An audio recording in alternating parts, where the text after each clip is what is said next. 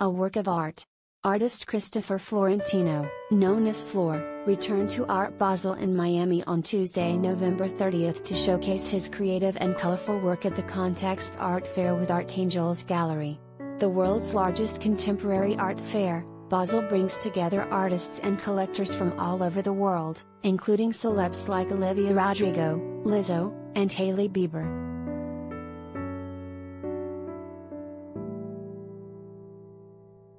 And this year marked Flore's 8th Basel experience. This one was really special because the artists were just locked away for COVID for two years, so they were making the best work they ever made and it showed, the Miami-based painter told In Touch. Every single art fair, there's, like, 10 different art fairs going on at one time, everyone had brilliant work. So, for me to participate in that, it was nice to see all my peers really dig deep and make some beautiful work.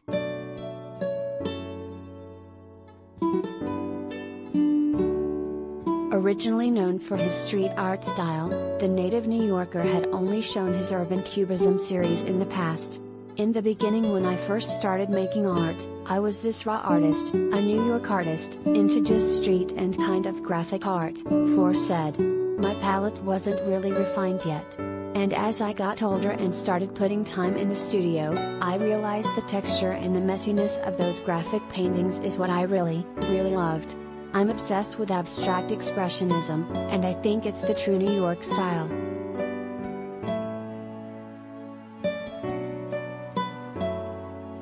Flore's newfound passion led to his exploration of modern art in 2017. And this year's Basel featured the debut of the artist's modern series. It's sophisticated, its gesture, its movement, its color. I love that style, he told In Touch.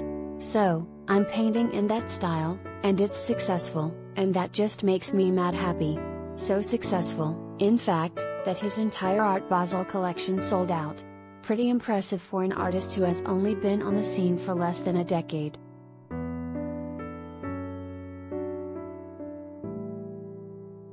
Over the course of his career, Flore has gained gallery representation in New York, LA, Tokyo, Zurich, and Beirut. His celebrity clients include J Balvin, Rick Ross, and French Montana, not to mention, Queen Bey. I made two matching denim jackets, one for Beyonce and one for Blue Ivy, Flore said. Her stylist or designer for her tour brought them to her.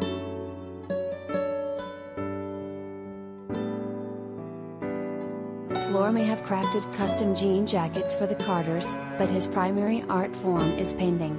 And yet, he still appreciates the influence of fashion legend Virgil Abloh. The late Louis Vuitton men's creative director was honored at Art Basel this year after passing away the weekend prior.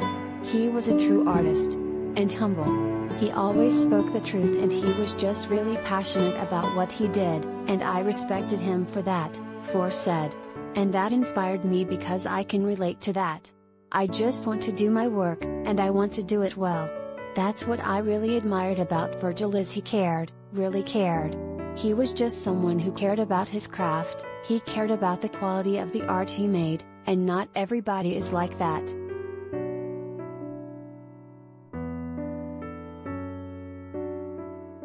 Flore clearly cares about his work, and that passion shows up in his paintings.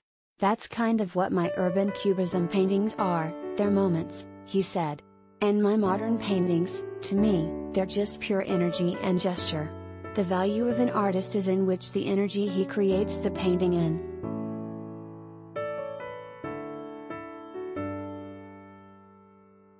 Next up for the New York artist, an NFT drop on January 7th with Nifty Gateway owned by the Winklevoss twins, Art Wynwood in Miami on February 17th and then Art Palm Beach on March 24th.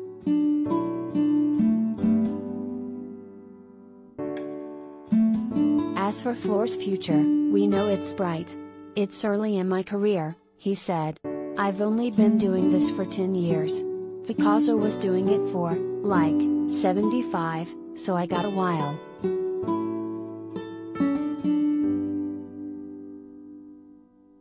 Tags, Beyonce Blue Ivy exclusive Hailey Baldwin.